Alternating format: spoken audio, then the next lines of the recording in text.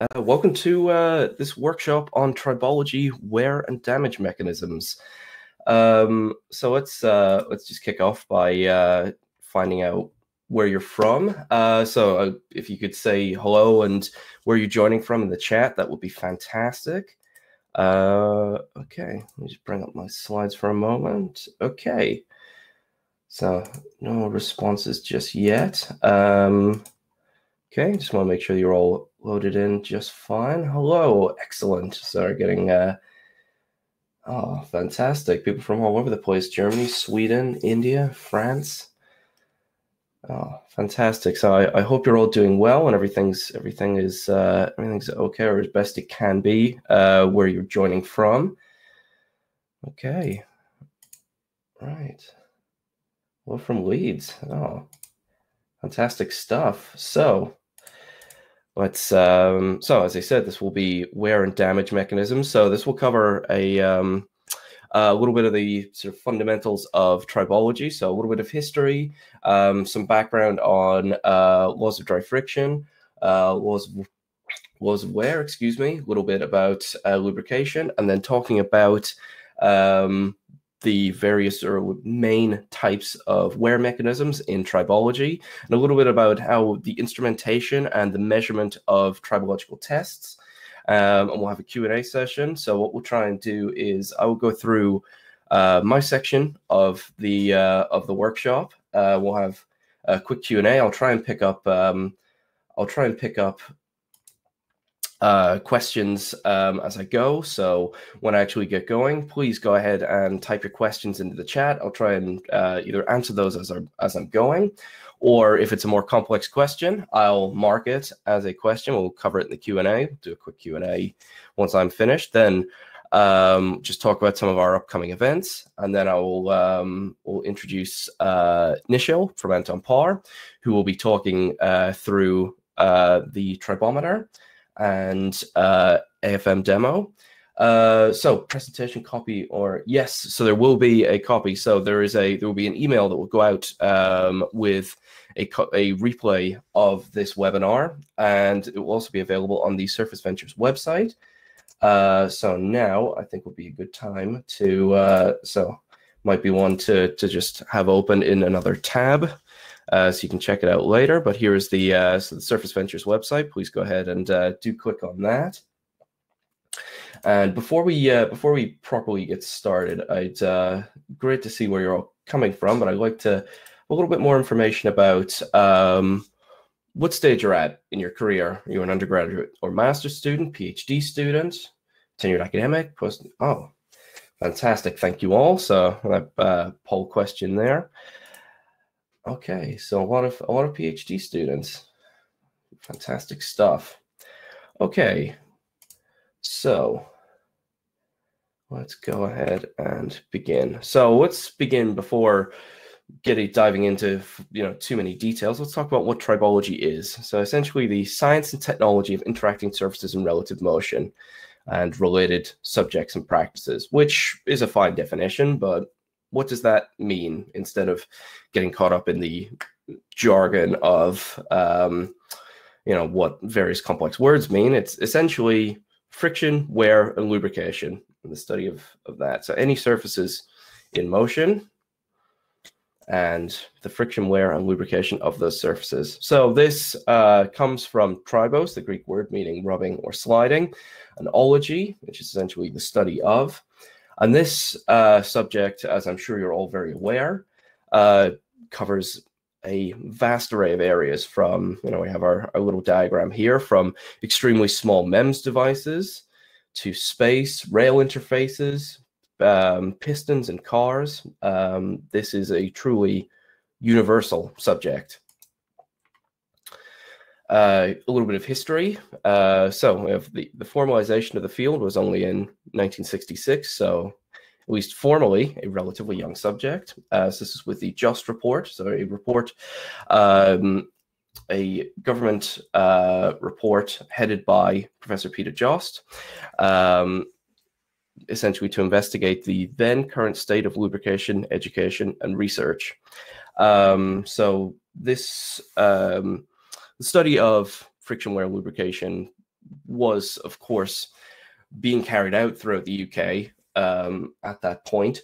Uh, but this was to investigate how um, what work needs to be done to improve this. Um, part of the uh, part of the findings for this report was how much um, energy and, of course, financial savings could be made by optimizing the tribology, as it then became known, of um, various things throughout the UK. And um, one of the recommendations also was uh, the founding of several schools, uh, doctoral training centers, things like that, which over the various years uh, has been done. Um, so there's far more uh, tribology education and, of course, research in the UK than uh, possibly there there ever was. But going back even uh, even further than 1966, some of the earliest um, evidence of tribological knowledge uh, was identified by um, the late Professor Duncan Dowson, um, who, in his book History of Tribology, um, found this fantastic, um, fantastic uh, carving of um, several men. I believe, I, I, think if you count them all, I think it's probably about 100 180 on of them, pulling this large statue. And what you see right at the just on the foot of the statue might be the earliest uh, tribologist. So this man is is pouring what looks like water, possibly, onto the sand, so to reduce the friction of pulling this statue. So we have our our very early tribologist there.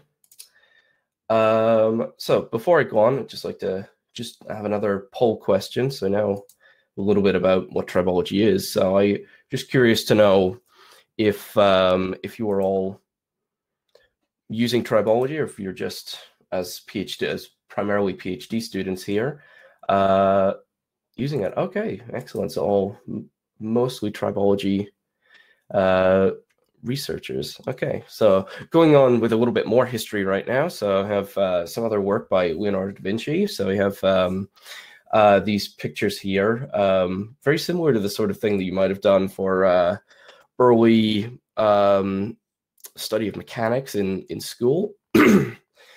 And this was very much the, the work that Leonardo da Vinci was doing, looking at the uh, coefficient of friction of sliding blocks on surfaces.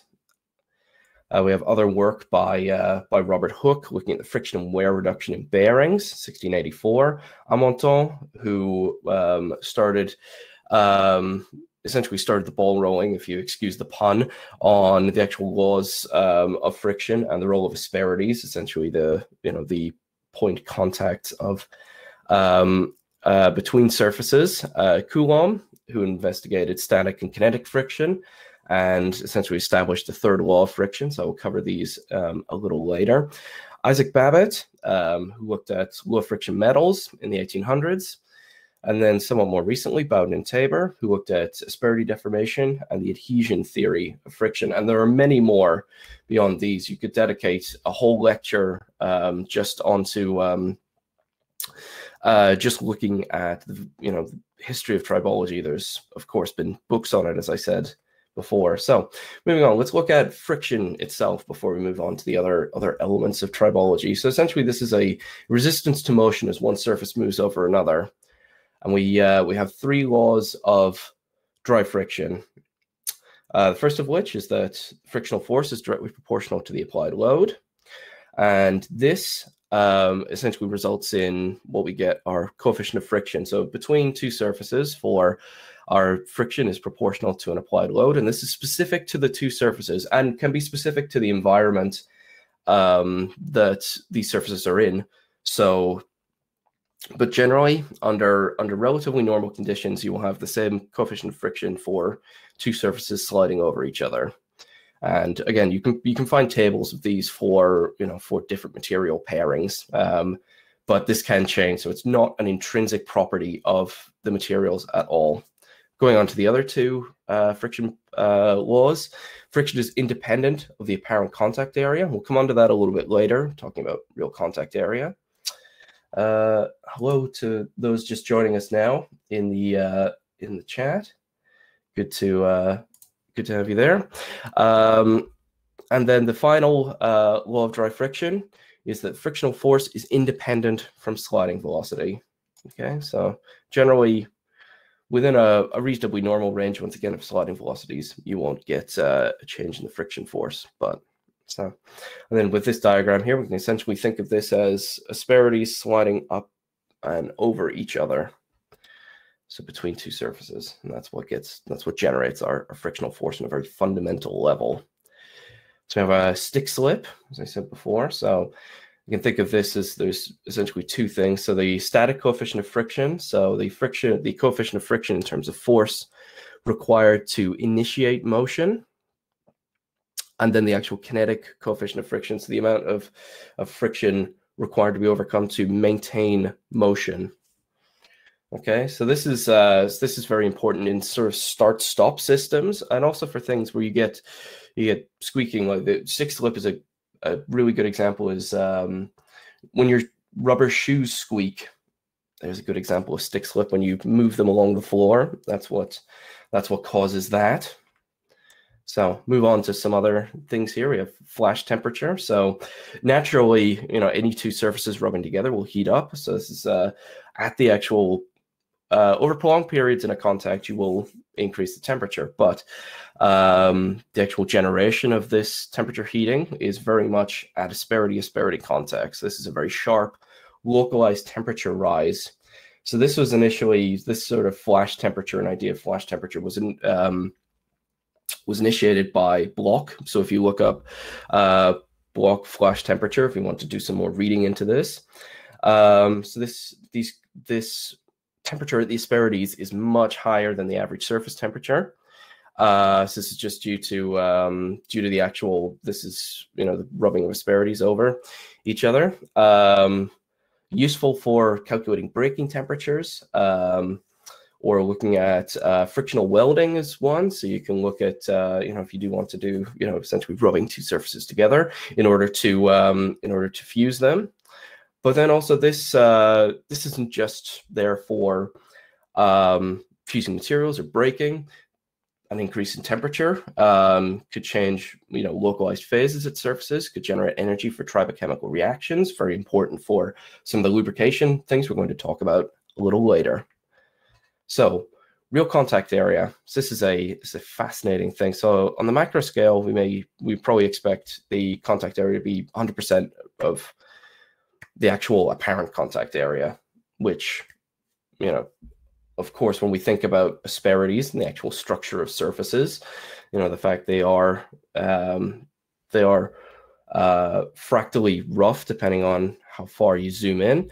Um, surface contact is in fact only made on the surface of the asperities, and this is where wear begins. So once once you um, if your contact pressure exceeds your your yield pressure, then you're going to begin to uh, wear your surfaces. So I like to do a, a little bit of a, a, sort of interactive bit now. So what do you think the real contact area is for surfaces? Um, you know, two sort of average surfaces without extremes of, of surface roughness or anything. Let's have some uh, let's have some some some guesses in the uh, in the chat. What do you all think?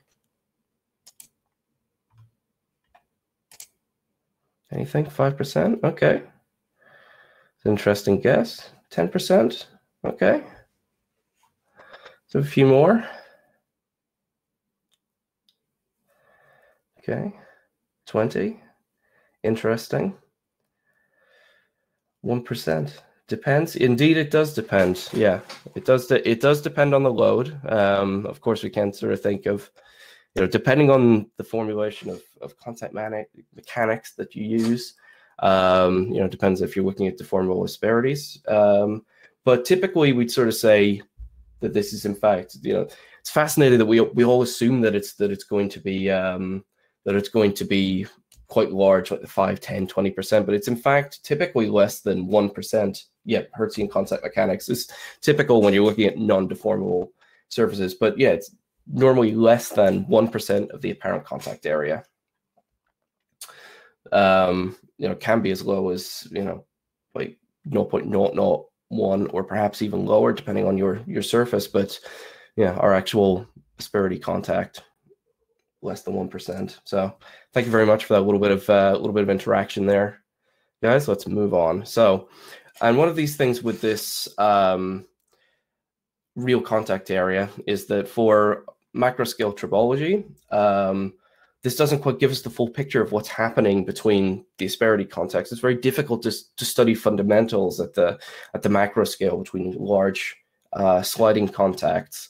Um, it's great for studying, you know, wear rate of, of actual components and things, which we'll come on to a little bit uh, later when talking about uh, measuring tribological tests. Um, but to really get to that, to get to those fundamentals, we need to we need to bring the scale down. We need to we need to decrease uh, the size of our contacts, move to uh, move to much smaller asperities. Typical sort of uh, spherical or spheroconical asperities is used in, in nanotribological tests. Uh, so that's where we have an extremely high contact pressure, and essentially we can look at that as a single asperity contact, which allows us to really look at uh, the fundamentals. This is this is very good for uh, nanotribological sliding tests, for scratch testing. Um, you can even do you know, even smaller tests for you know for say impact testing, which we'll come on to a little bit later. Um, so that's that's how we get to, to fundamentals in this. And now moving on to wear. So essentially, this is progressive damage. Um, as two surfaces uh, come into contact. Typically, we look at this as uh, motion over another, sliding over another, but there are, as I said before, multiple wear mechanisms which we'll explore. The one thing is, it's it's extremely difficult to predict wear, although we can have our, our frictional coefficients, which under a range of, of general conditions give us a, a good range, you know, a good number of, of what the friction coefficient is going to be. Wear coefficients vary much more wildly by, by orders of magnitude sometimes, and it's extremely difficult to predict. Um, and high wear and high friction are not always intrinsically linked. Um, so things like polyethylene on steel does have it has high friction, but low wear. Um, so it's a, an example there. So typically we'll measure this by mass loss or volume loss. So you can either weigh these to determine what the mass loss is, or use various types of profilometry, either optical or uh, scanning probe or if you want to get really small, AFM, which we'll come on to a little later. And wear isn't always a bad thing. Um, you know, in any mechanical uh, system, uh, we're typically talking about, you know, we're typically looking at, uh, you know, a planned amount of wear. Um, so initially, during our uh, use of a component, there will be um, very high wear rate, essentially this running in period. And and for a lot of a lot of contacts, you, this will be slightly higher friction. But then the wear rate throughout you know normal usage, we have what we call normal wear. It's much lower.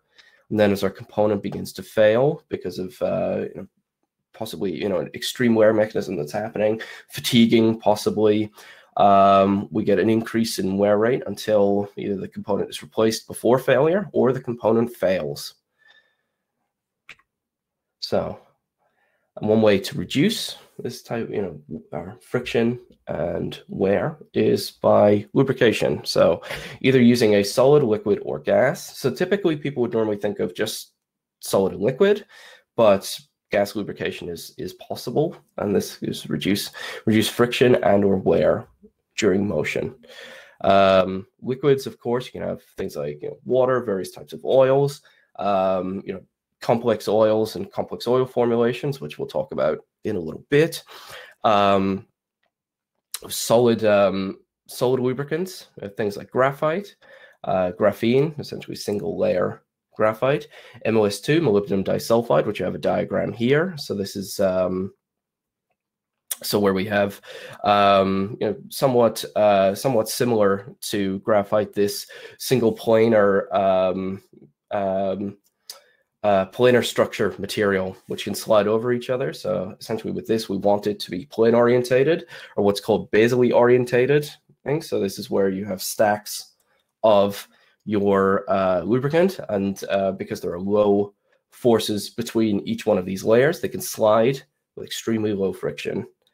And then, as an example of things like uh, gas lubricants, things like pressurized air in air bearings. So used in respirators and hard drives, there's typically a very very small air film in a in a hard drive, and I think these are also used in um, once um, in hydroelectric power generators. Air bearings are used for that. So once they get spinning, they're extremely low uh, coefficient friction. So various different lubrication regimes when we're talking about, um, well, typically uh, liquid, uh, liquid solid here. So we have initially our high coefficient of friction. Our highest coefficient of friction is in boundary lubrication. So we have almost no or very low uh, fluid separation. So uh, essentially very little surface film there. We move into mixed lubrication where the surfaces are beginning to separate uh, some more. So up to one micron of film thickness. And at this point, the friction coefficient is going down. Uh, the diagram that we have here is a Stribeck curve. So um, we have here is uh, the bottom axis is either represented as specific film thickness, in which case it's a modified Stribeck curve. But this one, we have a more typical Stribeck curve with uh, dynamic viscosity, speed, and load on the bottom axis, and then friction coefficient uh, on the y-axis.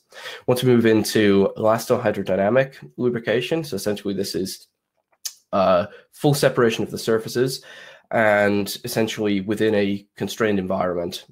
Uh, so this is where we get extremely low coefficient of friction. So this this uh, constraining and uh, pressurization of the uh, of the lubricant um, means that its sliding is extremely uh, extremely efficient, extremely low um, friction coefficient, and then we move into hydrodynamic, where we begin to see uh, a slow increase in friction coefficient, but this tends to be due to the uh, you know increased um, uh, increased separation between the surfaces. We need to start taking into account the fluid properties of the lubricant.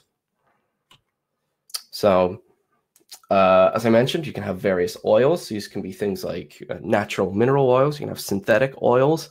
Uh, but typically, depending on the situation in which these are employed, we want to um, uh, we want to modify them. Uh, so these can be things like anti-wear additives like ZDDP, friction modifiers like MODTC, uh, which will break down to form um, MOS2. Um, so in order to reduce friction and wear, and then there are many others. So things like acid neutralizers, anti-foaming additives, um, viscosity modifiers, emulsifiers. So these are things. Uh, so these additives can help uh, tailor a lubricant for a specific application and keep it uh, functioning within the parameters that it is designed to function in for as long as possible. We can do various different uh, bits of tribological analysis. These are the typical kind of tribological factors that we would uh, analyze. So look at the materials, which I'll, I'll, go into, you know, we'll, we'll talk about each one of these individually, the actual surfaces, lubricant or possible lack thereof, and then the operating conditions. So analyzing things like, say, this this Yamaha motorcycle gearbox.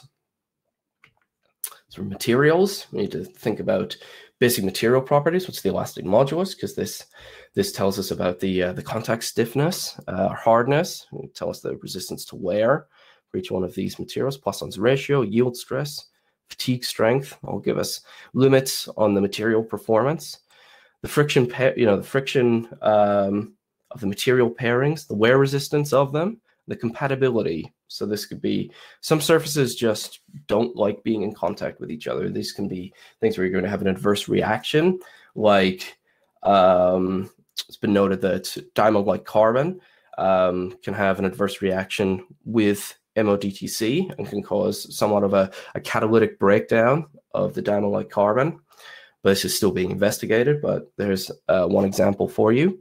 If surfaces, we think about the conformity of those surfaces. So high conformity is in high contact between a flat on flat plane. This is high conformity, low conformity. So our, you can imagine a, a ball on flat. So for our, our typical um, Hertzian um, approximations, and then surface texture. So you think of these are multiple um, multiple different uh, parameters to measure surface roughness, uh, texturing. But essentially, we can think about this where we have our unworn surface, Um, this is a just a, a, typical surface profile where we have you know various uh, asperities. There are you know some are higher than others, whereas during wear, uh, essentially some of these are you know, these are flattened essentially. So this is uh, so where we have our, our worn surface. This would be more during our our typical uh, normal wear, where some of these are flattened, and then you would see, um, you know, essentially an actual loss, uh, you know, more of a loss of of, of volume uh, during wear out and failure of components. Of lubricants, so we talked about the various things. The viscosity, of course, is important. The additives, um, you know, what environment is it tailored to operate in? Contamination, so any uh, particulate matter, any um, any other uh, chemical substance that gets into the lubricant can react, um, can stop the lubricant forming um, proper or performing. Sorry, not forming, performing as it was intended, and degradation. So a lot of these additives will be used up. Things like the anti-wear and uh, friction additives uh, will be used up over time. Um, in some cases, these can be replenished. Sometimes they cannot, and this requires replacement of the oil. Operating conditions. So if you imagine this somewhat, you know, challenging operating condition of this of this train here, um, the actual load it's operating, higher load typically would end up with higher wear once, um, or you know, sometimes higher friction, depending on you know what range we're operating in. Relative motion, um, you know, what's what mechanism of wear or sliding are we considering? The temperature, because uh, this this can also affect mechanical properties. Extremely high temperatures, uh, we get a reduction in hardness, and this can increase wear. And then the environment. So what other what other mitigating factors do we have? Snow in this case, or leaves on a line is another one for trains. So, come to another part where I'd like to ask what's um, before we before I want to discuss each one of the the wear mechanisms themselves, I get a little bit more uh, a little bit more audience feedback. So let's let's have some um, let's have some uh, some answers for what you think some of the main uh, wear mechanisms are in tribology. Let's just have a let's have a few in the in the chat, please. Yeah, abrasion, abrasion, adhesion, absolutely. Yes, these are for sliding wear. Fatigue, of course, yes. Particle generation, yeah. Crack propagation, impact, absolutely. Fretting, yes. Yes, pitting and scuffing. Yep, those are ones. Yeah, so these pitting and scuffing are quite interesting. They're typically not generally thought of as fundamental wear. Corrosion, absolutely. Galling. So pitting, pitting, scuffing, galling. Typically, these are extremes of other types of wear mechanisms. So, um, yeah, I think you've got abrasion, adhesion, fatigue, corrosion, prowess, erosion. So erosion, corrosion. That's a synergistic one. So we'll talk about that one. So thank you all. thank you all very much. Let's let's go on. So our main ones typically we have abrasion, adhesion, erosion, corrosion, and fatigue. We'll cover each one of these separately. And then we have synergistic wear mechanisms like fretting, impact, erosion, corrosion as one. Um, so with uh, with these, I have adhesion. Essentially, Bowden and Tabor formulated that we have during contact, we have cold welding of asperities. Um, we have to have a shear uh, to occur uh, for actual sliding um, to happen. So you can think of this in terms of uh, a theoretical expression by by Archard. So we have our, our, total wear volume per unit distance. So our load, uh, or P, sorry, which is uh, think of as number of contact spots over a whole um, um, over an entire contact.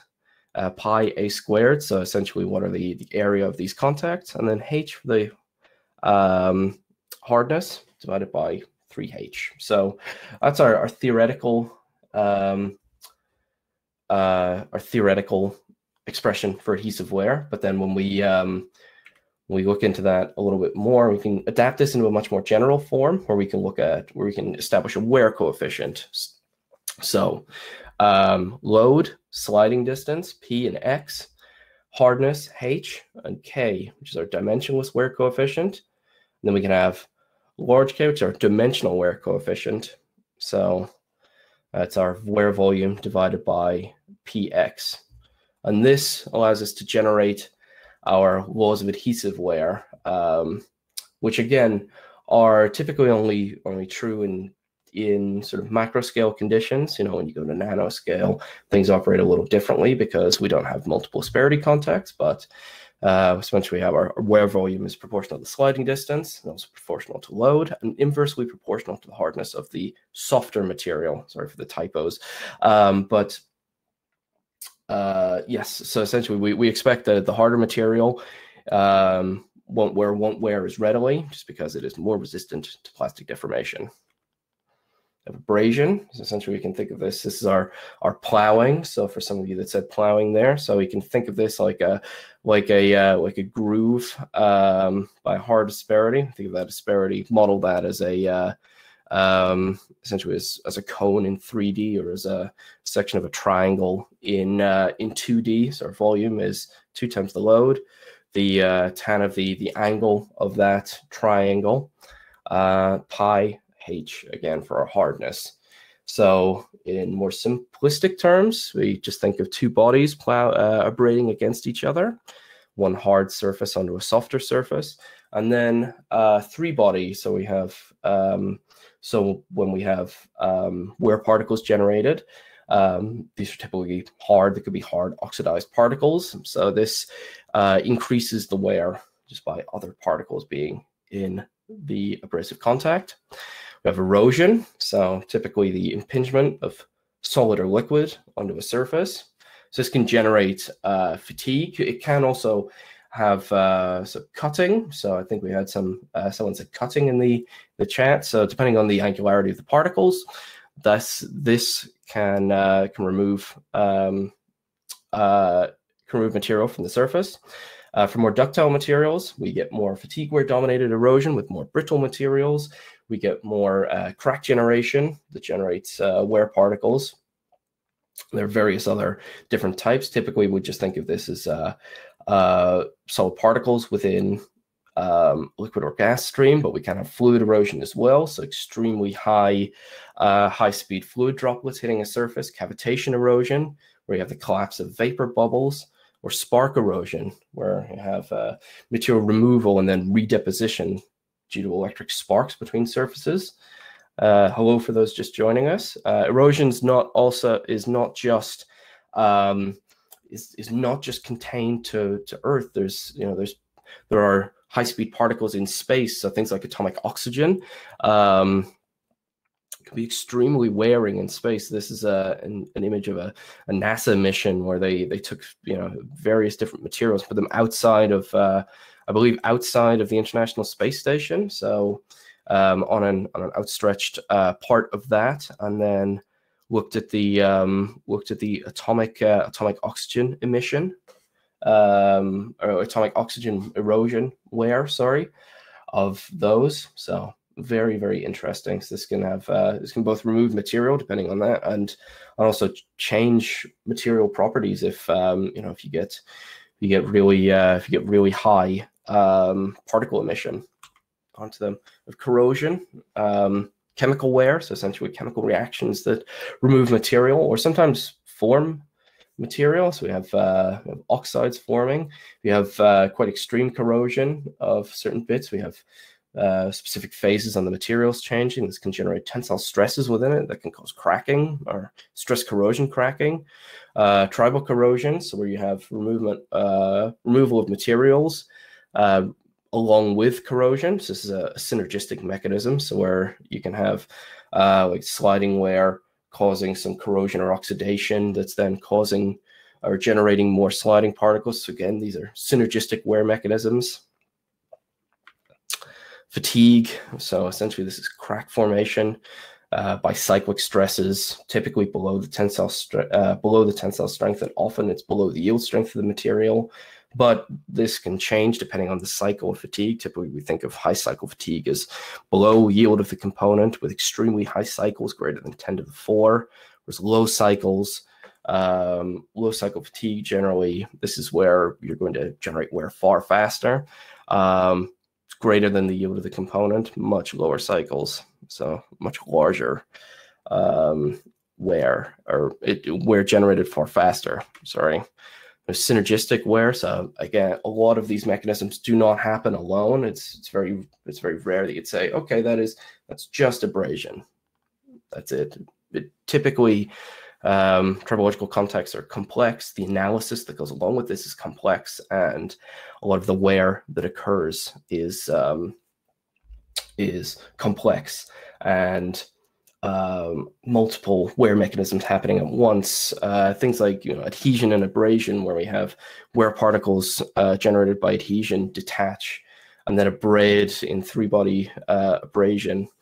Uh, corrosion and abrasion. So, like I was saying before, reactant particles from the corrosion are often harder if you generate oxidized particles, and then this is three-body three body abrasion, erosion, corrosion, where you're eroding a surface, but this is typically under under liquid, possibly on a, on a material, a ferrous material that can that can rust. So you're getting you know iron changing to to various forms of iron oxide that are also breaking off. Um, yeah, it's uh, this can be very complex things. we have other um, typically synergistic wear mechanisms, things like fretting, where you have um, typically very very high cycle um, low displacement oscillatory wear um, so generally you think of a fretting contact as a, a it though there's a lot of analysis that goes into fretting and i don't want to over i do not want to oversimplify it but you could think of it as a, a much smaller uh, displacement reciprocating sliding contact though there are different modes of,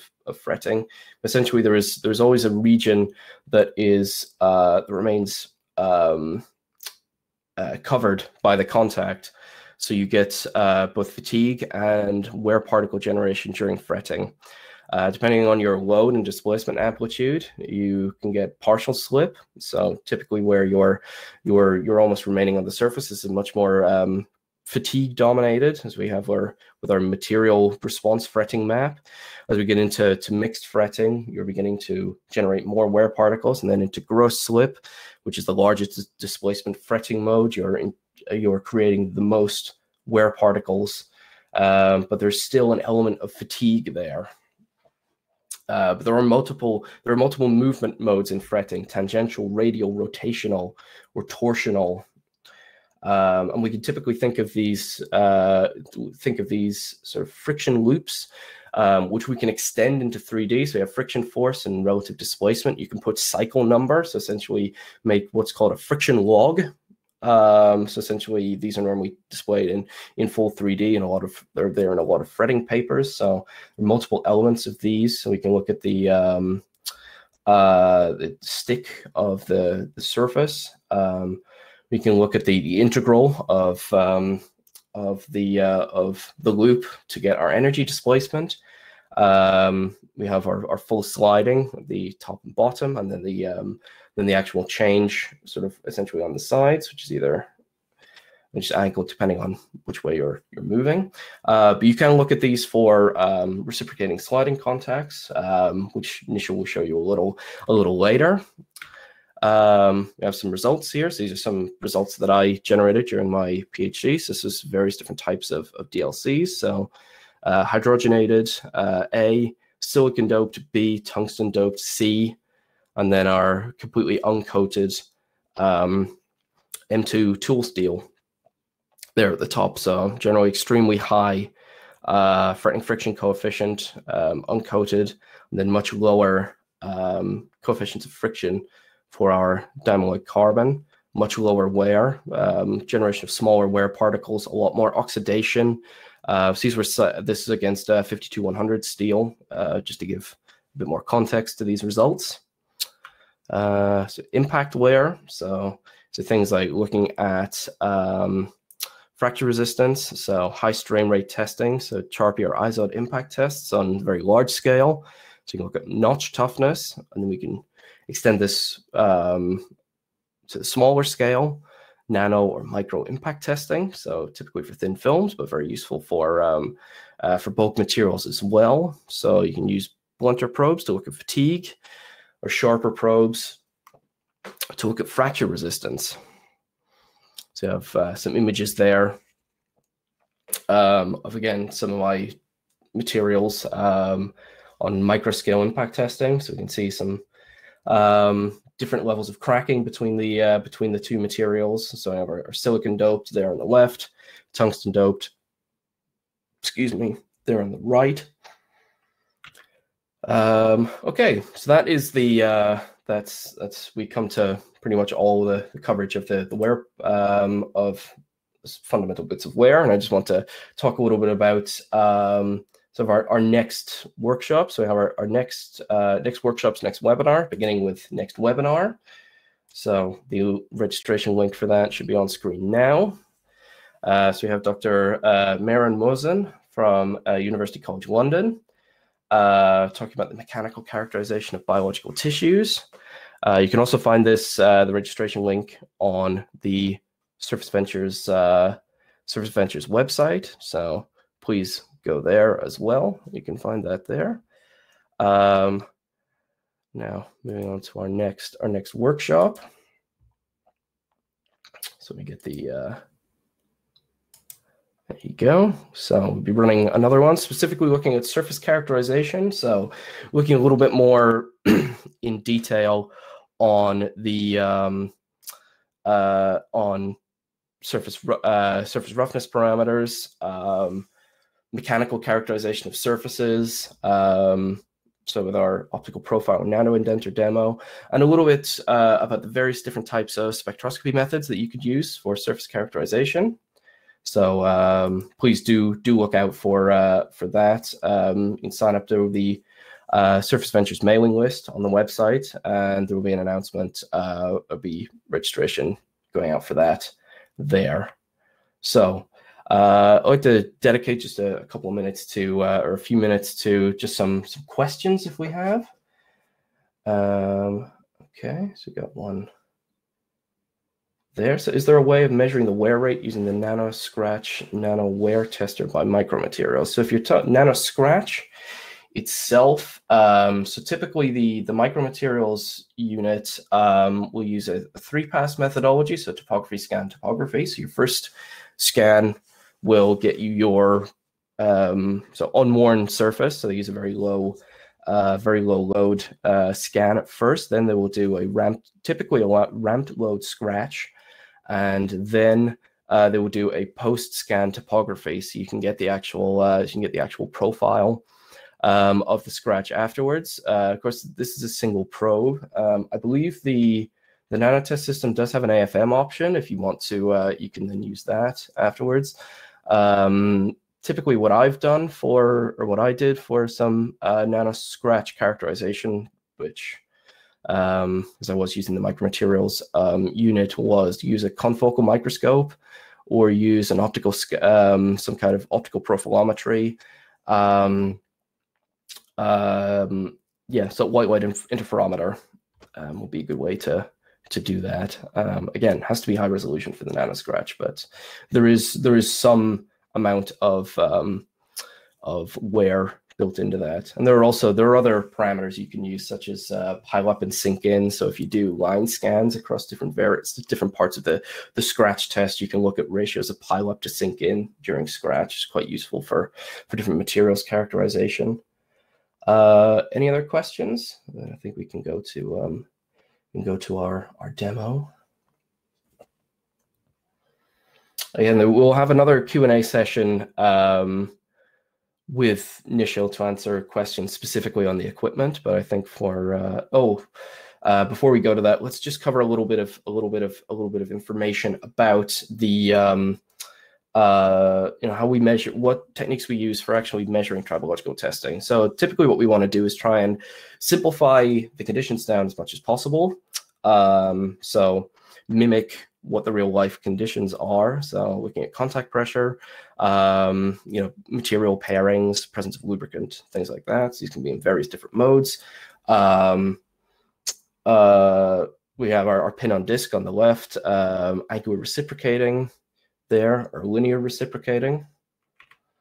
Uh, so we have a typical friction trace here. So this is quite similar to uh, to one of the so what's going to be shown in the demo. So we have a, a bearing steel there, 100 CR6 uh, through hardening steel against a titanium nitride coated um, steel. If uh, look at wear measurements, so profilometry, um, very small scale um, wear you can use AFMs, but otherwise these are typically used for um, uh, surface scanning. Look at the wear of the actual ball, the counterface material. Um, things like this, where we have a, a nice, neat, um, sort of neater ball on flat contact. We can look at the, we can measure the wear of the ball using a spherical cap, so measure the diameter of that, and then we can extrapolate that to sort of say, okay, how much wear volume was lost from what was once a, a nice uh, curved surface. Um, Anton Paar make um, various different types of tribometers. What will be shown today on the left is the pin on disc. So with normal forces up to 60 newtons, measuring frictional force up to 20. Uh, there's a high temperature variant of this, uh, capable of measuring up to 1,000 degrees. So this is very useful for um, if we're looking at engine tribology, for example. Um, uh, so I have another question there, so I'll, I'll, come to, to answer that one a little a little later. Um, so for engine tribology, for example, we have a nanotribometer. So again, for reducing the scale of those contacts, we're looking at very fundamental, um, uh, fundamental or very low friction systems with a much more sensitive um, uh, friction sensor there. So from five micronewtons to uh, one newton, 1000 millinewtons. Um, so uh, range of humidity, um, Nishil will be able to answer that. So we'll, I'll mark that one for him. Thank you for your question. Um, so this is quite so humidity tribometer quite useful for polymers, for example, whose properties can vary in humidity, and our vacuum tribometer quite useful for space applications or um, solid lubricants. Um, so yeah, same load range, but with vacuum level up to 10 to the minus 7 millibar. And these, um, the tribometer's key features. So I have minimized thermal drifts. There's two friction sensors. I'll, I'll bring up a diagram of that in a moment. Um, there's environmental monitoring, so it can monitor temperature throughout, monitor humidity throughout. Um, calibration is quite simple. Uh, conforms to all of the uh, the standards that we expect. Um, the software is uh, wonderfully easy to use. You can look at friction loops. You can get uh, very fast data export. Um, there's a modeling software for looking at contact mechanics. It's extremely useful for when you want to look about, look at, and think about the um, the stresses in your contact. Um, where does yield occur in the contact? And it's a modular design as well, which Nishil will will uh, will show different module for. And as I said, two friction sensors. So Nishil will show this in, in, in much more detail and actually live in a in a moment. Uh, thank you for your question. Uh, a little bit on the AFM. So the Tosca series, topographic scanners. So typically for generating um, uh, nanometer level, nanometer um, scale, sorry, just marking questions there. Um, uh, nanometer scale scans, although can be used for um, very small scale um, wear volume calculation. Uh, you can determine various surface properties with that. So these can be, multiple things like um, adhesion between surfaces with uh, pull-off forces, um, uh, tapping, scanning mode, extremely low. Um, AFM can be used for for friction um, uh, testing as well. Uh, it's going to be very uh, very quick measurements. It's a highly automated system and with extremely high resolution of course, depending on the exact tip that you use. The principle of, of measurement for an AFM. Um, so I have a cantilever arm that scans across the surface. Um, AFMs, can, AFMs can work in either a, a sort of scanning mode where you're just scanning or a tapping mode. Just pulls across the surface. There's a laser scan, um, laser shining onto the um, onto the cantilever, and as that cantilever shifts position, as it uh, moves across the surface. This is projected onto a photodiode, um, which measures that actual change in um, change in in um, in surface roughness throughout scanning. And this information is sent to the controller and to the PC, and you can assemble a uh, 3D map of the surface from this. So there are two models typically. There's the Tosca 400 for larger samples. So we have uh, here's that uh, thing about um, about scan size. So um, 100 by 100 uh, microns with a Z range of 15 for the 400 or 50 by 50 and 10. Uh, but these can be upgraded slightly larger for the uh, 200, both to 90 by 90 or 12 to 15 for the Z scanner. Um, at the full scan, um, fully addressable range, 100 millimeters and 50 respectively, uh, 10 lines per second versus 5, 25 millimeters maximum height. Um, there is once again uh, very fully featured uh, analysis software included, and there are various different modes available for this. Um, without going into there, I don't want to go into too much detail because again, that could be a whole a workshop or a lecture on its own on the uh, the various different types of modes. Uh, I'll mark that question there. So for Nishil to answer on the dry or lubricated conditions. So I'd like to now invite Nishil on. So let me just invite him on stage. Remove the uh, slides for a moment. Okay, so before we begin, and while Nishil is just loading in, so we'll first show the uh, tribometer, and then um, we'll be just swapping camera positions over to the um, over to the AFM. So while we're doing that, I'll just uh, pause Nishil's video, but I'll, without further ado, let him uh, let him begin. So uh, please take it away. Thank you, Sam. Thanks very much for a fantastic introduction and taste of uh, the world of wear and tribology, which is not an easy subject by any means. Um, so my name is Nishil Malde. Uh, I'm a product manager at Anton Paar. Uh, I specialize in actually materials characterization. Um, and you know, welcome to everyone here. Um, thank you for giving up your valuable time. So what I'm going to run through actually is a little bit more hands-on, the instruments that are used to actually, you know, determine wear, friction, and also if you're going onto a smaller scale, the nanoscale, uh, more kind of surface profiles, surface features using the AFM. So I'm going to start off with our pin on disc tribometer, and then I'm going to move on to the atomic force microscope as well. Um, so there's going to be a little bit of uh, movement on the on the camera. I apologize, but I want you to get a very very clear opportunity to see what a pin on disc tribometer. If you're not familiar, uh, I'm sure many of you probably are. Okay, so this is a uh, setup of a pin on disc tribometer. Um, sorry, I'm going to come off of shot, but at least you can see the setup here. I'm going to try and zoom in a little bit as well.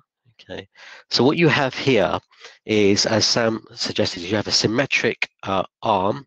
Okay, it's an elastic arm. Okay, and you've got two uh, um, sensors to measure lateral force deflection. So that means that kind of force there. You've got typically, it's called pin on disc, but it doesn't have to be pin. It could be ball on disc. It could be flat on disc. Um, it could be a variety of uh, geometries that you can have two body contact. You have one um, body uh, is in static, the other is mobile. The, usually the sample under being under test.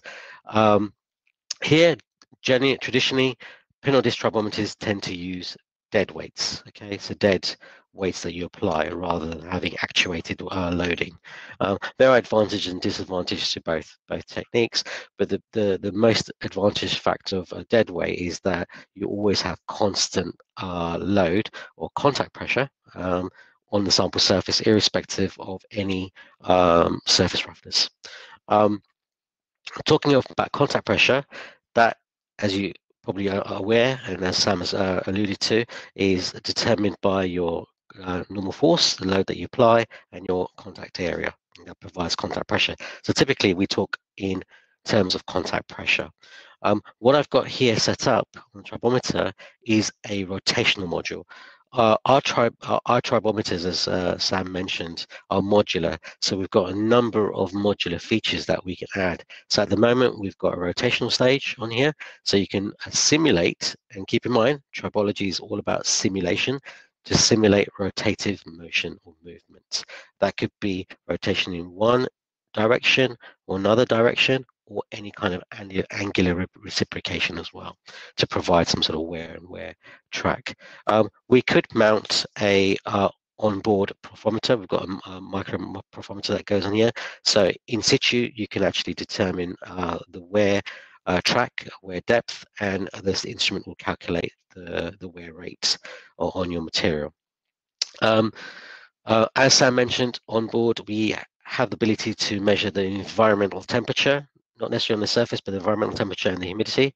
Uh, but if you wanted to do simulations in different conditions, this particular system or systems like this, we can go from minus 100 degrees up to 450 degrees in temperature. Um, uh, we can also have a situation where we can apply a inert gas into the enclosure to provide a, uh, a, a, stable, um, non um, affecting environment, maybe like uh, nitrogen, where if you've got oxidation effects as well. Um, so that kind of gives you hopefully an out, outline uh, of you know how we've got this set up. Um, at the moment, what I've got here is a ball on a disc. This is uh, uh, a, um, a, titanium nitride coated uh, steel sample. Uh, the coating is probably around about um, six to eight microns, so it's not very, very thick.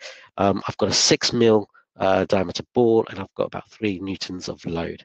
So three newtons of load on the six mil diameter ball. The six mil, you may ask, is part of the uh, one of the ASTMs, the G33. Actually, that's what makes it conform. Um, I spoke about modularity. Uh, I'm going to move on to the, looking at some of the software as well. But here, just wanted to give you an idea. You can see what we've got here is that we can take the rotational, we can take the rotational uh, mechanism out and replace it with this module, which is a linear slider. So what we're doing here is simulating sliding wear.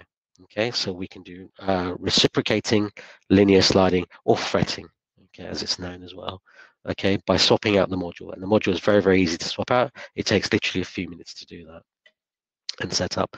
Um, we've got other uh, modules if you want to do uh, um, um, tribological measurements in a lubricant, in a liquid lubricant. We've got liquid holding cups um, both uh, sliding and rotational. If you wanted to do um, erosion, we've got uh, ele electro erosion cells as well, so you can apply a current um, to expedite the corrosion effect uh, in either in or without a lubricant to test um, the um, frictional wear properties as well. But fundamentally, what you're doing here is that you're measuring two parameters. You're measuring basically um, the load that you're applying, okay, which is static in this way, or the contact pressure, should I say, and any lateral movement of that elastic arm, okay. Um, and that elastic that elastic uh, movement is translated by the LVD sensors, the sensors that Sam mentioned, into an electrical signal, and we convert that into a coefficient of friction value. So I'm going to move over to show you just the software side a little bit. Okay, um, I'd love to go into more detail, but you know it's one of these uh, subjects that you can um, talk about um, this for all day long. Okay, so I appreciate you're not going to be able to make out everything on the screen, but here's a typical example of some cyclic uh, uh, wear and friction measurements that we've done. So we've cycled around about um, over uh, 500 seconds and we've done multiple cycles. We've done about 20, uh, 20 plus cycles on this uh, uh, particular material that I showed you. Um, and here you can see the evolution of the um, the, the, the wear and how the coefficient of friction changes. Um, and what the R software allows you to do is analyze these this date, this information in terms of number of cycles or individual cycles and look at some statistical variations. Um, so you can actually look at a certain area of positive and negative part of the cycling um, to determine how that coefficient of friction or wear uh, uh, evolves. And like any good uh, instrument or software, you've got lots of flexibility in terms of what you can achieve in terms of setting up the measurement. You know, you can set the number of cycles, number of laps, you know, sliding time, sliding distance. For example, um, you know, your um, um, um, um, there's there's a number of actual um, parameters you can vary. Um, and in this this corner of the of the software, um, if you've got the onboard profilometer or you've got something, you know, uh, uh, uh, a dedicated profilometer, you can take the information about the the the wear depth information, put that into this, and it will calculate the wear rate for you, both on the uh, test sample and the the static body that you're uh, in contact with. Um, all of this information uh, including the experimental parameters and information about the sample is stored uh, in, a, in, a, in, a, in a ASCII formatted uh, file that you can also analyze in anything like Excel or MATLAB or uh, whatever whatever you feel that is prevalent for you. The other um, nice feature of our software is that we've we've got Python scripting uh, available, so you can write a script as well, which can extract the data taking to say an Excel sheet that you've created with um, uh, uh, say certain certain um, uh, uh, uh fit uh, parameter for the for the model and apply that onto the data and get some statistical information from there as well. But yeah, you know, typically we'll measure the coefficient of friction, the lateral force, the normal force, penetration depth, and a number of other features as well. Um, there are also two uh, additional user channels on here that you've got access to. So what you can do is here is say connect um, say a thermocouple and measure the local temperature on the sample surface on the sample uh, volume. Um, or, or um, some, you know, uh, another example is you can um, put, say, maybe some spectroscopic uh, um, measurement on there to measure any kind of uh, chemical variation as well or maybe you want to take some high-speed photography or imaging to see the evolution of the wear and the wear track from the beginning to the end, um, which is quite nice. And that can be all triggered from the instrument and the software as well. So um, hopefully this kind of given you a little bit of a flavor of how a typical pin on disc tribolometer is arranged and set up. Um, this is obviously a commercial system, a commercial instrument, which is basically complies to, as, as Sam said, a number of ASTM standards, uh, meets those standards, uh, and in many cases exceeds those standards as well. Um, and being a modular system allows you great flexibility uh, and opportunity to um, uh, expand on your tribological measurements as you progress in terms of your research or understanding of your material systems and mechanisms. Um, so um, I think uh, it's probably a good point to maybe move on uh, to looking at the uh, AFM. Uh, and then I'm happy to take any questions or, or, or, focus on something a little bit, you know, on those questions. Oh. Okay, Nishil, do you want to uh, go ahead and get uh, reset up for the AFM? I'll just sure. uh, move from stage while you're moving the camera. Okay, so go ahead and, and rejoin once uh, once you're ready. Thank you. Okay. Also, while we're uh, while we're just waiting for Nishil to to reposition his camera, I'd just like to um, launch another poll question. Uh, just whether you would like to uh, like to receive uh, some further information from Anton Paar regard, regarding uh, various uh, products and events. Um, thank you all for answering the uh, the poll questions. Uh, if any of you still remaining uh, haven't answered some of these, um, I would greatly appreciate it if you uh, if you could do so. Um, oh, got another question there. So any questions are asked. So please, while we're uh, just while we're waiting, if you do have any other questions, um, equipment specific, please go ahead and and ask those, and we'll cover those with Nishil in a in a moment once he's ready.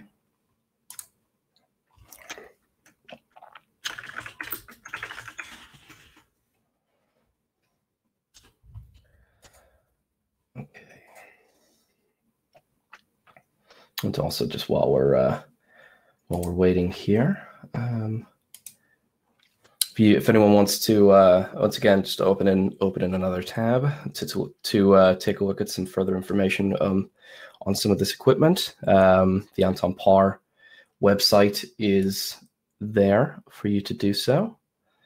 Um, I'll also release um, some handouts from Anton Paar a little later also.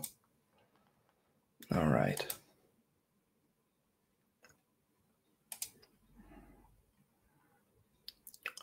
Okay. Nishil should be ready in a moment. He's just reconnected.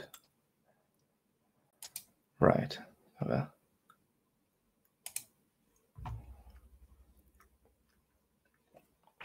Apologies for that. Uh, there was slight technical glitch as I moved. Ah. Okay. Um, hope you can hear me and uh, see the image of, of, the setup of the AFM. Um, so this is the Tosca uh, AFM, uh, Tosca 400 that Sam uh, um, mentioned in his presentation.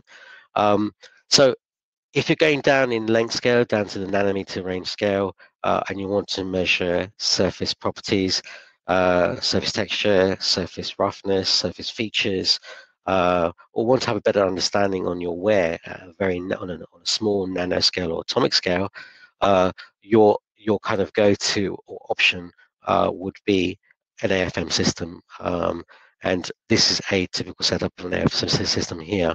Um, what you have, as um, uh, as uh, uh, Sam mentioned, you have a cantilever, and um, that cantilever is basically like a sharp point, uh, typically, and that uh, um, is either in contact or it could be non-contact and it moves across a defined area that you're of interest um, and it takes information on the topical topological information um, and there's a laser that's uh, on the back of that cantilever and that any deflection that it picks up as it's moving across the sample surface is picked up and cre creates an image of that uh, area of interest.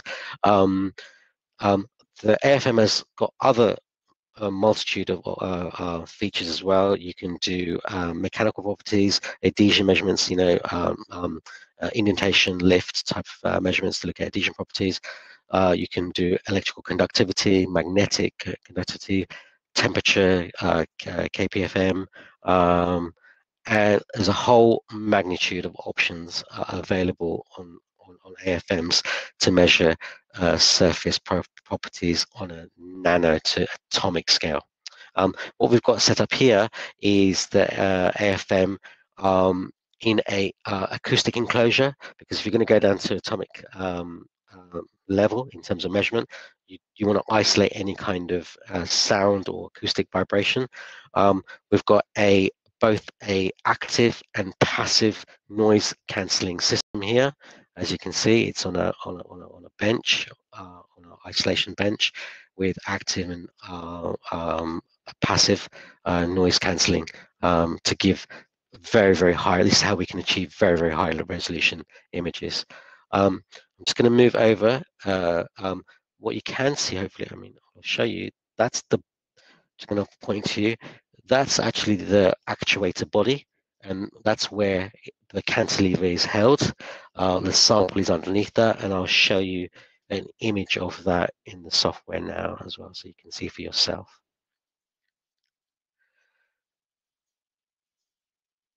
So I'm going to try and position this as best as I can, uh, so you can see for yourselves.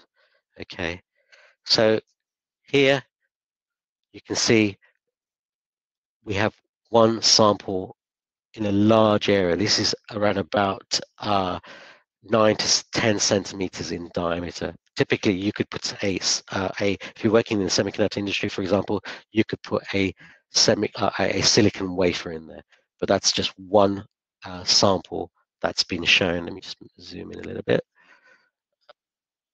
You can probably make out it's just one sample there, and the it's got features on this sample Okay, it's got um, uh, defined 22 uh, micron uh, steps uh, graduated on, on, the sample. Um, and I'm working at the moment in contact mode, so I've got a contact cantilever in there. Um, and um, what you can see is in this image, that's where the laser is on the back of that, that cantilever. Okay, so the laser is hitting on the back of that cantilever. And what we will see here is some typical data. Um, I, I, ran this at really a fast rate, um, so um, you won't see much features at the moment because I'm not in the right area. But um, but what you'll see, you'll get information in terms of height. Okay, you, you know you do a rastering of scan. So you do a raster scan, so you go backwards and forwards uh, as the probe goes uh, across the defined area of the, of, of the sample that you want to, area that you want to measure. Um, you'll have a vertical deflection in this area here, uh, and then you'll have your lateral deflection. So lateral deflection is typically similar or pseudo similar to measuring a coefficient of friction. So if you've got uh, features or uh, properties on your sample, whether they're engineered or chemically introduced on the surface, uh, either wanted or not wanted, you'll pick that up in terms of its coefficient of friction properties here as well from the lateral deflection. So you've got you're measuring three channels of information, and those three channels are then put together uh, to create uh, information uh, uh, on that defined area of your sample surface. And that could have certain features, maybe directional. Those directional features could be both in the lateral or even height as well on the vertical um, that you'll be able to kind of determine. Um, so good one good example is um, uh, um, like if you have gloves, uh, protective gloves. On one side of the gloves, it's smooth. On the side on your palm side, there's a bit of roughness to give you a little bit of grip. Um, so the, the friction and wear properties are going to be different on one side of those gloves, for example, to the other side. Um, and if you were trying to measure that engineered features on the rough side, typically uh, an AFM would be a good place to start. Um, another area is potentially maybe um, in say uh, contact lenses, okay, because you're looking at small scale, you've got very thin coatings to provide uh, comfort, to reduce that friction uh, properties when you're wearing contact lenses, for example. And again, an AFM is a very well suited um, uh, uh, technique to, to, to determine those properties.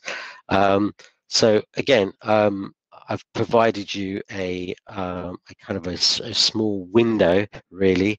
Um, it probably doesn't do um, uh, justice uh, because, you know, we could spend uh, a whole day talking about AFM and another whole day talking about the setup of a, a tribometer. But they're both kind of complementing techniques in many ways, um, especially if you're measuring uh, wear properties or frictional properties as well, uh, depending on your length scales.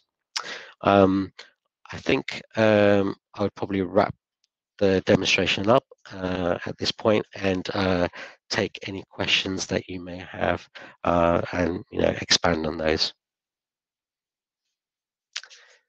Thank you. Okay, thank you very much, Nishil. Okay, let's uh, let's go ahead with the uh, questions. So, or sorry, I'll let you. Uh, sorry, just. There we go. Right. So got our first one here, which is can we perform high temperature lubrication experiments, excuse me, with this AFM? Uh, um, there, there, there is a module that's being uh, developed at the moment uh, uh, for the for this particular AFM to do high temperature measurements. Um, I'm not sure whether we can be able to do it in a lubricated environment, but it, potentially we are looking at a wet environment. So I suspect when you mm. join the two together, it possibly uh, can happen. But there are caveats because if you've got heat, you've got a lubricant or a liquid, there's going to be evaporation, and we need to be able to mitigate what mm. you're measuring. Um, are you measuring effects of evaporation? Uh, remember, you've got something that potentially could be in contact with the cantilever or a non-contact, but uh, we, we, are running some um, uh, tests at the moment before release. But you know, uh, watch this space, as people say. okay, got another question here, which is in tribometers with rotating bases um, at high RPMs, won't the lubricant poured move away from the contact point due to centrifugal mm. forces? Absolutely. Yeah, it's a good question. Yeah, absolutely, it's a good question. So our tribometers, when you're working with a say a liquid environment, lubricant with you know viscosity involved, and um, it's contained in a in a in a uh, either depending on we've got two types we've got aluminium cup or we've got a stainless steel cup depending on the reaction um, as soon as you do any kind of lubricant measurement you can reduce your rpm your rotational speed anything from it goes from zero up to 2000 rpm and you can bring that down you can actually predefine your uh, measurement protocol for any kind of test like that, where you're minimizing that kind of uh, centrifugal forces that move and separate the liquid away um, to down to very, very low RPMs. So, of course, the measurement will take a little bit longer. Okay. Um, however, you'll have a little bit more data integrity when you're working in that kind of situation or, or simulation. Okay, so you have another one here. I think this is for the uh, it's the for the pin on disk, but uh, can it do high temperature and gaseous state experiments also? Um, it, it can do high temperature. Yes, I mean uh, this particular pin on disk can go up to 450 degrees uh, in dry uh, and 200 degrees in, in, in mm-hmm. wet or liquid conditions or lubricant conditions. Um, in terms of the gaseous environment, it depends on what gases you're talking about. It can this particular pin on disk can handle uh, inert gases. So um, if you're going to be working with gases that are maybe reactive, uh, then probably not. But if you're working with like argon, nitrogen, you know, air, it should, there should be no problems whatsoever. Um, if you want to do in a gaseous environment at high temperature, then we've got the dedicated, um, say the vacuum uh, tribometer that uh, Sam mentions, and that can also elevate to high temperatures as well, around about 450 degrees. So that would be the, the kind of go-to setup. Um, it's one of these uh, situations where uh, uh, in an ideal environment, you want an instrument that does everything in one, one, one, one setup, but the, the, ch the, challenges with that in terms of the technicalities, in terms of materials that you can use, uh, and based on versus performance, and obviously uh, versus budgets as well. So we've got to be mindful of that. Um, and that's why we have these separations in the instruments as well. Hopefully that answers your questions. If you if you if you have an idea what kind of gases environments, then maybe I can uh, provide a little bit more feedback offline. Yes, I mean, if anyone has any um, specific questions that they uh, that they would like uh, to be passed on to uh, to Nishil, please uh, you can email me at uh, sam at surf- surfaceventures.org. I will pass any questions along. Um, uh, sorry, Nishil, I can't really can't remember your email address right off the top of my head right now, but um, you can uh, actually while we're answering questions, I can find that and put that in the chat if you're happy for um, if you're happy for uh, yeah yeah please, yeah yeah you can share my it's just nishil.malde at anton hyphen paar.com. There we go. I'll uh, put that in the chat in a moment. So I got another question here. Uh, how much depth of surface is analyzed by the AFM? I guess I mean what's the the maximum um, yeah, range? The, I mean, that, yeah, that that goes down to your uh, typically your kind of um, uh, Z range, your Z Z, resolution. So on, on, ours, you can you, you you would have seen it's like you know 15 uh, you know um, um, microns uh, of resolution but it all depends on what materials you're measuring. Because if you're measuring, say, a polymeric surface, and that polymeric surface has got some sort of recovery, um, then you're going to have that that kind of uh, uh, and the speed of recovery in some cases. Um, you know, you're not going to get that full range of depth, for example. Yeah. So. Um, yeah, it's it's it's it's it's it's it really depends on on on the on the on the surface roughness that you've got, the type of material that you're the, the, surface material that you're looking at um, to have an effect on that so but obviously you've got the the specification values that um, sam sam showed on, on the presentation um, and you can see that even from our website as well if you if you, if you search on there um, yeah yep uh, so you got excuse me, another one here. Um, what is the it's data per second, but I guess the the measurement frequency uh, for friction on the um, this was for the tribometer, I believe. But if you have, yeah, yeah. So um, yeah, so basically that, that's your your your um, frequency of of data acquisition. I'm guessing if, if I'm correct, if I understand that. I, so, so, that's something that's that's a, yeah, that's a variable that you can change. Um, so you can change that um, rate. So typically, if you're doing a very short measurement and you want a lot of data within that, you can increase that frequency. You know, you can go up to, you know, uh, I believe it's around about uh, just under 10 um, kilohertz. You can go up to. Okay, but if you're going to do a very long experiment, you know, some experiments can last even a week. Um, then the question is, do you want that high rate of data acquisition? Then you can go down to say 30, 40, 50 hertz, for example. So it's from the hertz to the kilohertz range. Put it that way. So yes, it's a it's a it's a a, a, a variable that a user can uh, define. Mm-hmm.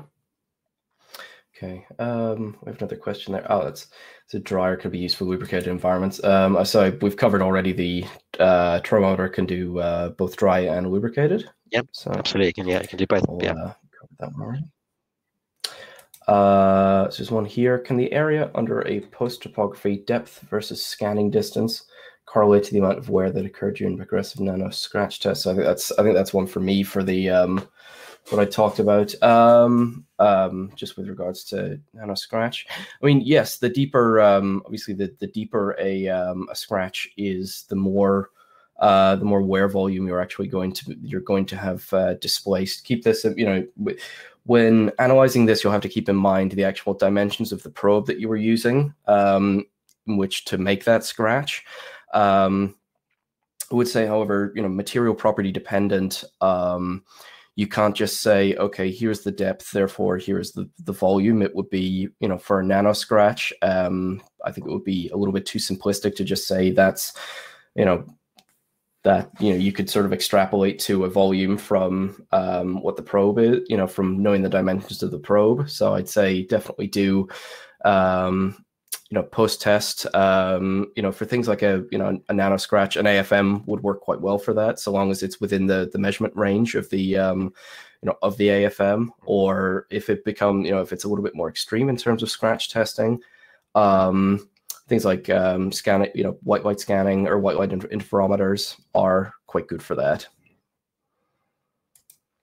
Uh, also, Sam, you should mention that, that there's you get spallation effects as well if you when you're course, when you're yeah. when you're scratching. So you don't only just have material moving forward, but you have material moving outward as well.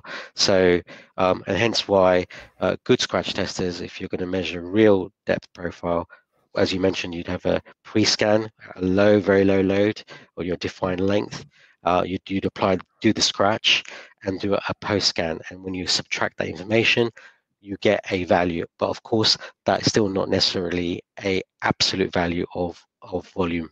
Yeah, you'd have to do some sort of profile measurement to give you that. And even that has caveats to it as well, because how many how many sections do you measure on average as well?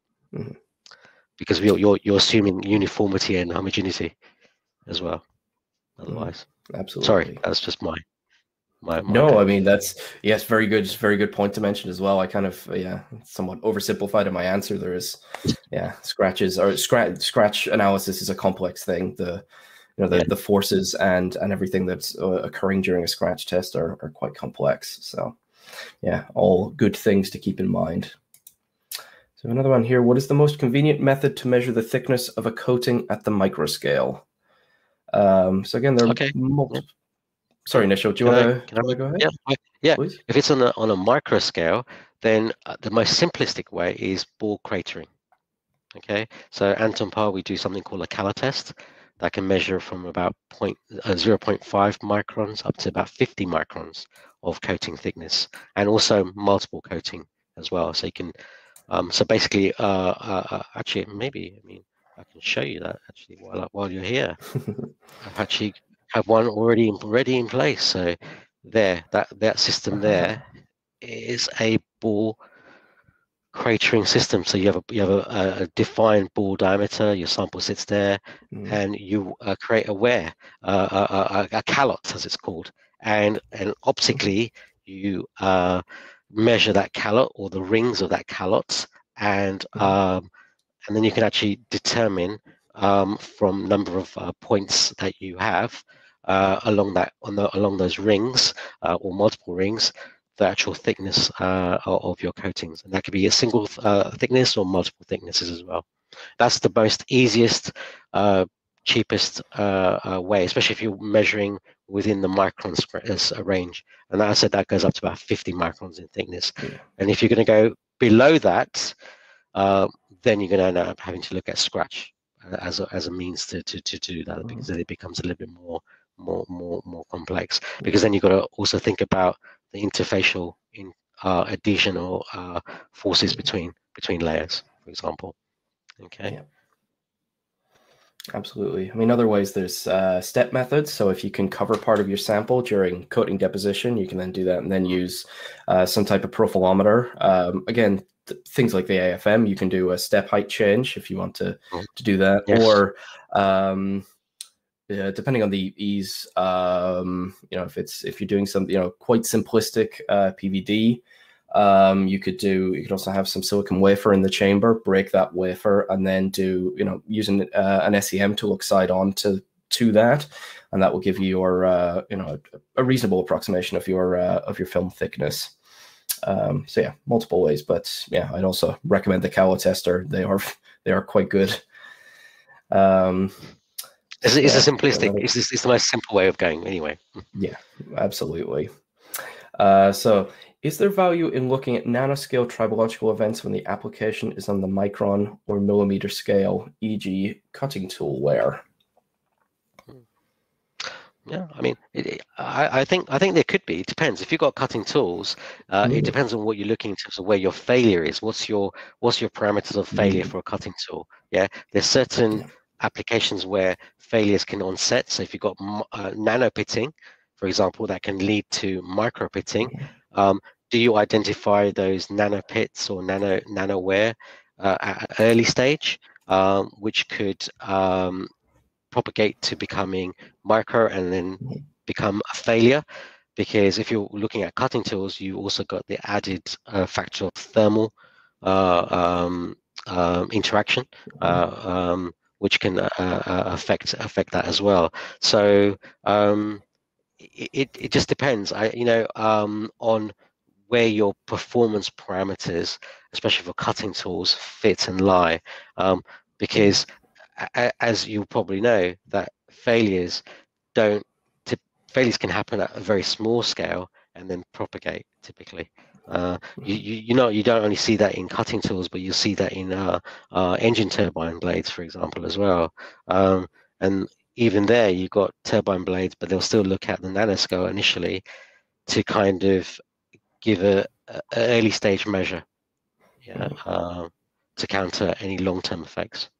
Yeah, yeah, yeah, absolutely. It's the the thing about well, you want to look at the fundamentals to see where your initiation points are? I think that's the the main way. It's just remember that sort of nanoscale tribology is very much uh, for looking at the, the the fundamentals, fundamentals of interaction. So that's that's kind of where um, its main strength lies. Um, you know, it's you know as I've said throughout the uh, the workshop, um, it's the smaller scale you go, it becomes more complex to uh, to look at. So it's it absolutely depends on on what you're looking at. So another question here. So for the humidity tribometer, what is its range of humidity? Um, the the range of humidity will be temperature dependent. So um, you know you can get up to about ninety percent humidity uh, at um, say around about um, 40, 50 degrees Celsius, um, and that will then basically, or so should I say, ninety eight percent, and then it will progressively. Um, it's just the physics of it. Uh, it will progressively uh, go down as you elevate in temperature. Um, um, you know, um, you know, it's a balance of vapor pressure, um, but it's a function of temperature basically. So um, if you're looking to achieve, uh, but obviously in a vacuum environment, you can still maintain a high um, um, humidity, uh, elevated temperature. So if you've got a vacuum environment, you can ex- exceed that uh, vapor pressure uh, or, or, or, humidity. But there's going to be a balance. There's going to be a, uh, a give and take between two. So if you're expecting 98% humidity at high temperature, then you may be disappointed. but that's just the nature of the, the physics of it. Yes. Ah, I think we got another one here uh, related to that. So, uh, can you specify it in dew point or ppm instead? Um, no temperature dependency. Um, I, I I don't have that data with me, but I mean we could do. Uh, I'm sure we've we've got that, but I don't have that on the top of my head. On mine, but we can share that with you um, if you if you leave your details in um, in the chat. We can definitely do that.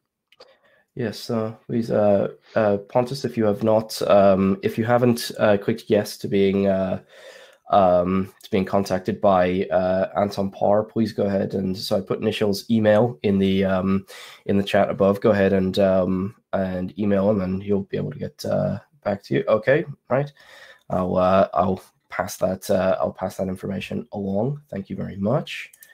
Um, oh, so we've got uh, so while uh, we're doing those last few questions there, just been releasing the handouts. We've got one final one on application um, papers and studies. So we have a couple more questions to do here. So we got one uh, one from a little earlier, which was which kind of wear test is more accurate for lubricants, engine oils, a ball and disc, or four ball test? Okay, so um, I mm. I I go ahead, Nishil, or shall I go ahead? Yeah. yeah.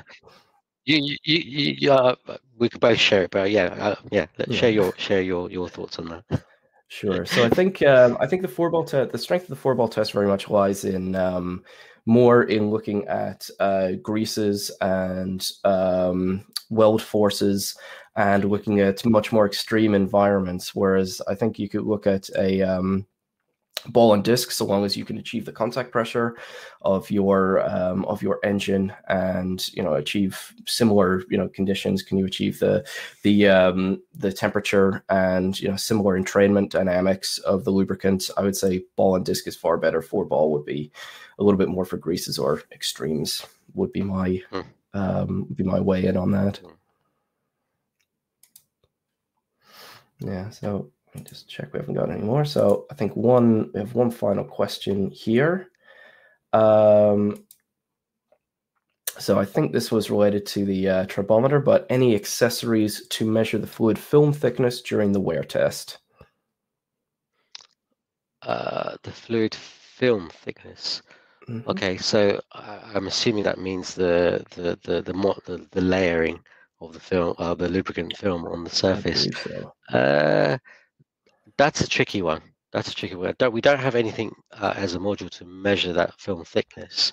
Um, um, you know, I, I mean, if you imagine if you had a film thickness and you're doing a mm-hmm. a, a, physical measurement like this, whether it's in rotation or linear or sliding, um, that film thickness is going to move. It's going to change. Uh, mm. To to measure that, um, one means could be uh, if there's any conductivity potentially, you can put a conductivity probe and see if that changes uh, because of if that layer changes, the conducting path will change, and you can have a, a, a, correlation. You could probably do a correlated way, but I don't. We don't necessarily have a direct mm-hmm. method to measure that thickness like that. No, it could be quite challenging.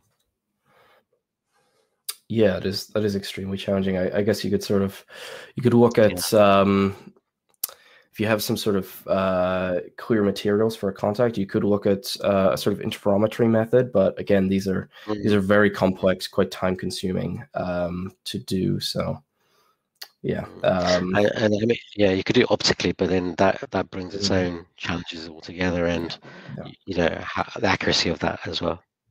Mm-hmm. It's a good question. Good question, but it's a it's a tricky one. My my guess is it depends on what, if you can if you know the conductivity and if you know that conductivity varies in terms of uh, its uh, thickness and, and uh, path path length, then mm-hmm. um, maybe by by conductivity. But that even that would be a challenge. Yeah, yeah. That's a yeah, as, as, we've covered many times, tri- tribology is a complex subject. absolutely, absolutely, yeah. Yes. So I uh, I think that's uh, I think that's all for our um, for our questions. We don't have any more in the uh, in the chat. So um, so for everyone, there's um, if you haven't um, clicked to download them already, there are some handouts available on the handouts tab. Um, the Anton Paar website um, link is available there in the uh, the bottom left. Um, yeah, so I think we'll uh, I think with that we'll um, we'll conclude the workshop. I just want to say thank you very much, Nishil, for those uh, those fantastic overviews of the equipment. Um, thank you very much for uh, for going through those questions with me. Um, yes, I hope that was um, I hope that was uh, useful for you all. Um, yeah, thank you very much. Okay, thank you. so um, yep, with that we'll we'll conclude. All right. Bye, bye, Nishil, and Thank bye you. all that are. Uh, Thank you. Thank, thank you very much. Thank you. Bye. Bye, everyone. Keep safe. Keep well. Thank you. Thanks. Bye.